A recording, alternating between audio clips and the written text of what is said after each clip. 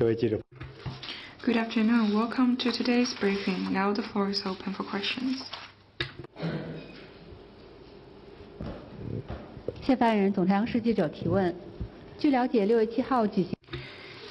CCTV, we have learned that on June the 7th, China, Pakistan, and Iran held the first meeting of their trilateral consultation on counterterrorism. Can you share more?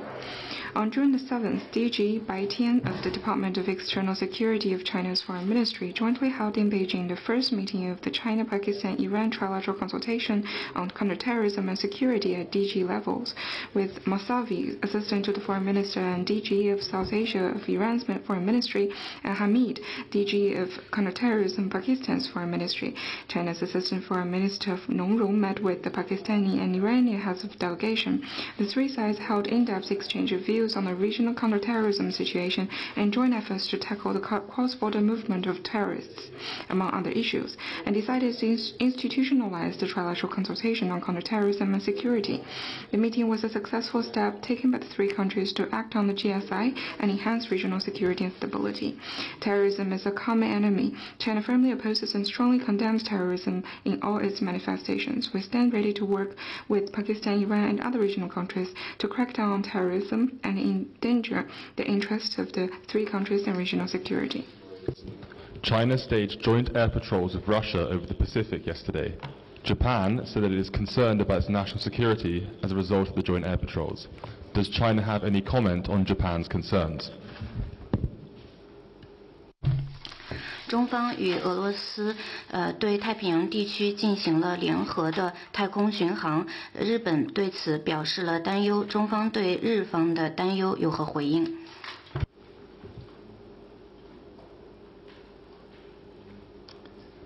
关于此次中俄联合 On the China-Russia air patrol, and you can refer to the readouts from re relevant departments of the Chinese authority. This joint patrol is not targeted on certain country and conforms with international law and norms. 问题。 Next one, please.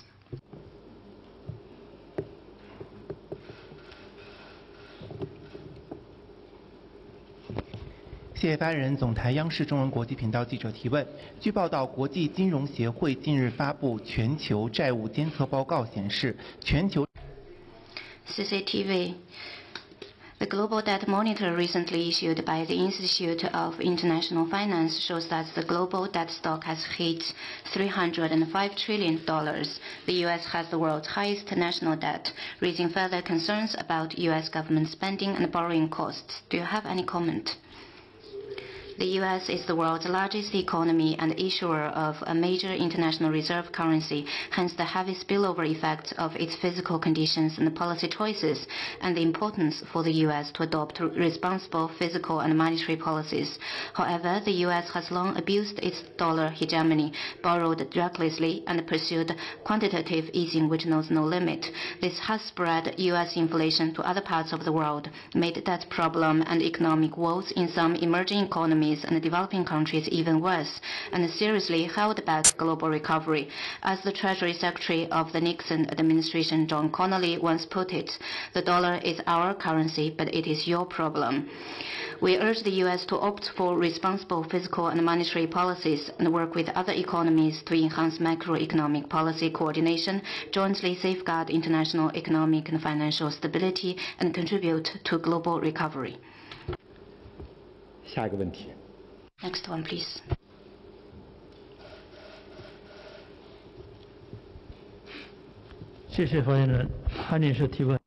Yonhap News Agency. The ROK has been elected a non-permanent member of the UN Security Council. What is China's expectation for the ROK China consultations on the Korean Peninsula nuclear issue and other related issues in the Security Council? As the core mechanism of international collective security, the Security Council shoulders the primary responsibility of safeguarding international peace and security. The world counts on the Security Council to shoulder its responsibility and play its due role so as to promote the political settlement of hostile issues. We hope that after becoming part of the Security Council, the ROK can uphold equality, justice, and independence, advocate dialogue, cooperation, unity, and mutual trust, oppose antagonism and confrontation and double standards, adopt concrete actions to make positive contributions to the work of the Security Council and meet the aspiration of the international community. Next one, please.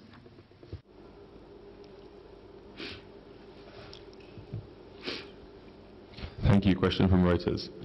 Uh, Taiwan activated its air defense systems today after 37 Chinese military jets entered the air defense zone around the island.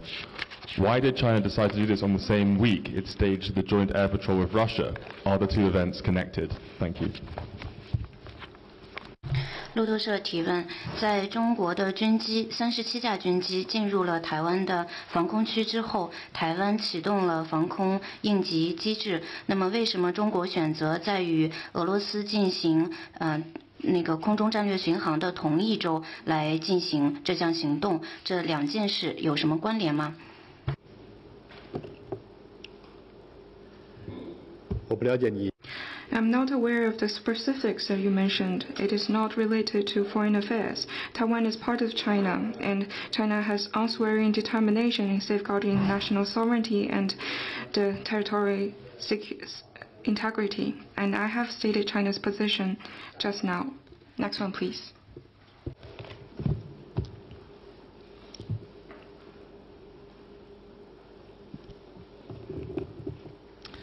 A question from uh, Bloomberg. Uh, the US, Taiwan, and Japan will share real-time data from naval reconnaissance drones, reconnaissance drones. Um, this is according to the Financial Times, uh, citing four people familiar with the project.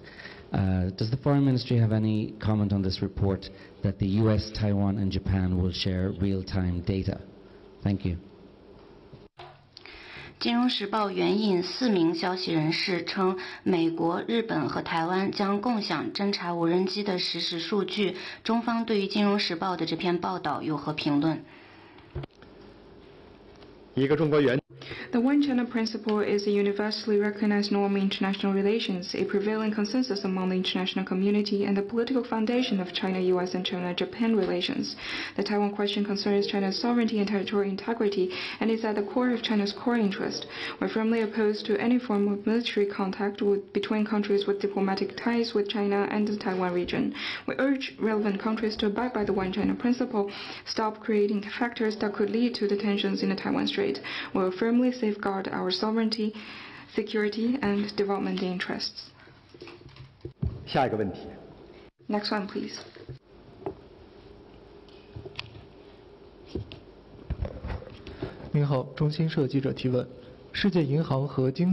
China News Service, the latest reports issued by the World Bank and the OECD both revised up the growth forecast of the world and major economies for 2023. The World Bank predicted that China's economy will grow by 5.6% in 2023, and the OECD set this figure at 5.4%. Both reports noted that China's reopening will provide impetus for world economic growth. Do you have any comment? Several international organizations such as the U UN, the World Bank, and the IMF have recently raised their forecast for China's growth. Some of them even revised up the forecast more than once. It shows their confidence in China's economic prospect. The Chinese economy will continue to serve as an engine of growth and contribute to global economic recovery. We have also seen several executives of many transnational corporations coming to China recently, which is also a vote of confidence for China's economy. Foreign, business, foreign businesses value the enormous opportunities brought by China's robust economic recovery and consider the improving business environments here a favorable sign. They are upbeat about the Chinese market and ready to invest in all directions in China. According to a recent CCPIT report, 97% of the surveyed foreign companies rated China's foreign investment policy satisfied or above. The satisfaction rate in terms of accessing financial services and market access exceeded 80%.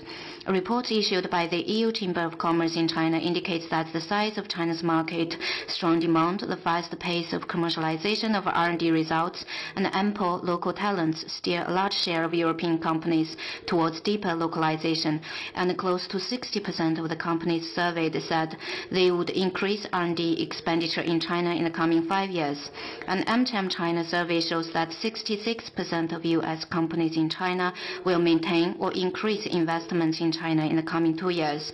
China will remain firmly committed to advancing high-level opening up and providing a more market-oriented, law-based and world-class business environments for companies of all countries. We welcome more foreign companies to invest in China, explore the Chinese market, and share in China's development dividends. Next one, please. 谢谢发言人。东方卫视记者提问：那么我们关注到有报道说，欧洲外交关系委员会最近最。The latest poll by the European Council on Foreign Relations shows that the prevailing view is that China is a necessary partner. Many European leaders, including presidents of the European Council, presidents of the European Commission, French presidents, and German Chancellor have recently said that decoupling from China is neither viable nor desirable and underlined the importance of maintaining contacts and cooperation with China. Do you have any comment? China and the EU are two major forces, big markets, and important civilizations in the multipolar world. The China-EU relations, rooted in solid public support, extensive mutual interests, and similar strategic aspirations, have withstood the test of time and shown strong resilience and potential. Since early this year, the two sides have maintained close high-level exchanges. Leaders had in-depth communication and reached important common understandings on enhancing strategic mutual trust, deepening cooperation, stepping up coordination and maintaining differences appropriately. As the poll shows, China and the EU are partners, not rivals. China stands ready to work with the EU to deliver on the common understandings of the leaders, keep to the right direction, cement the positive momentum of growth of ties, fully resume in-person exchanges at all levels, galvanize mutually beneficial cooperation in various fields to enrich and expand the dimensions of China-EU cooperation, and provide more stability and certainty for volatile and turbulent world. 下一个问题。 Next question, please.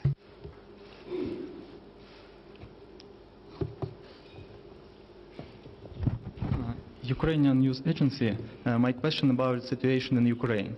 Uh, after Russian military blew up the Kakhovka hydroelectric power plant dam on the Dnieper River, many settlements uh, were flooded and lives of thousands of people at risk. Does China plan to provide humanitarian aid uh, to Ukrainian because of this disaster? 乌克兰我已经向大 I have stated relevant positions yesterday. We are seriously concerned about the destruction of relevant facilities and deeply worried about its humanitarian, economic, and ecological impact. We call on all parties to the conflict to abide by international humanitarian law and do everything possible to protect civilians and keep civilian facilities safe.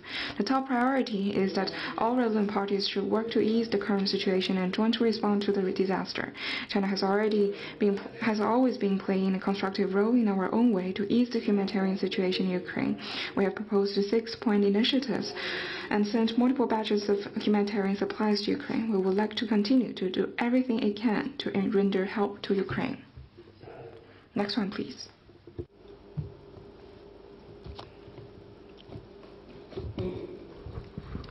Uh, good afternoon. Question from AFP. Uh, the U.S. ambassador to China, Nicholas Burns, on Wednesday accused China of failing to stop production of uh, fentanyl.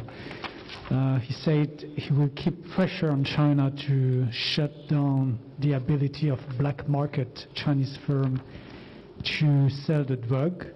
Uh, we have not seen progress on this issue from the Chinese government, he said.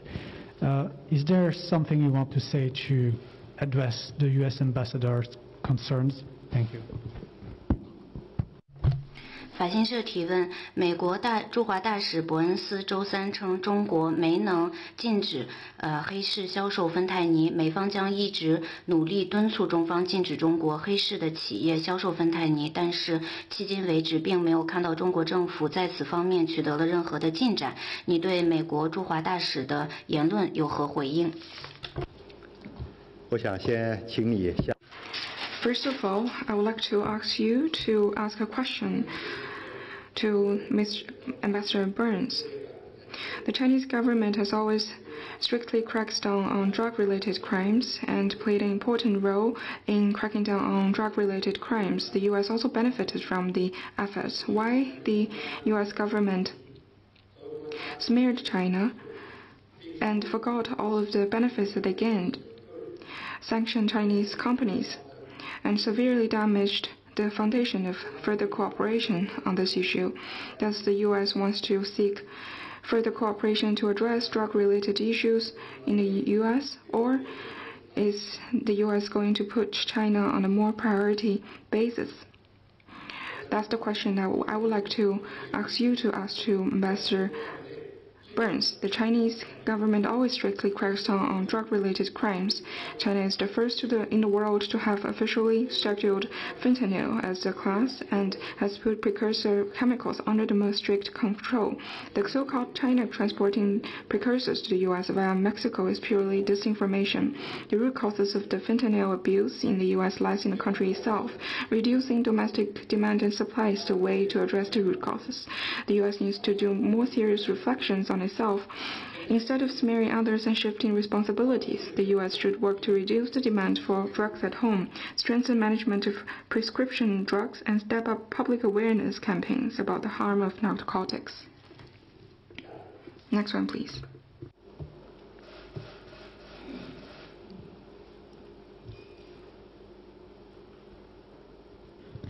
you. Question from Reuters.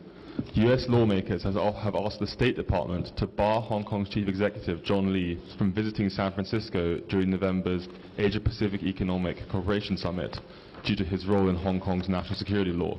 What is the China side comment? 路透社提问：美国议员 APEC has its organization rules, and the host country is responsible of ensuring the successful participation of representatives of all members. The U.S., as this year's host, promised to fulfill its responsibility and abide by relevant APEC rules and procedures to facilitate the participation of representatives and abide. We believe that the U.S. will follow through on its commitment and ensure the successful participation of Hong Kong representatives and other representatives. Next one, please.